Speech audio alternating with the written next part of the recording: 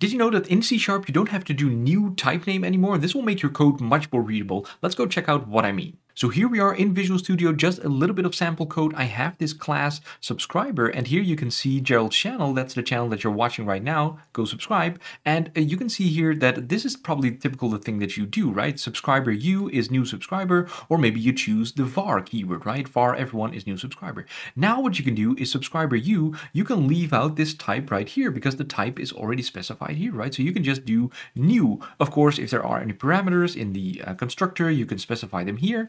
Um, but uh, this will make your code much more readable because instead of having with the var keyword having all the types on the right side, now you will have all the types on the left side. The older notations still apply. Which one do you prefer? Let me know down in the comments and of course don't forget to like and subscribe.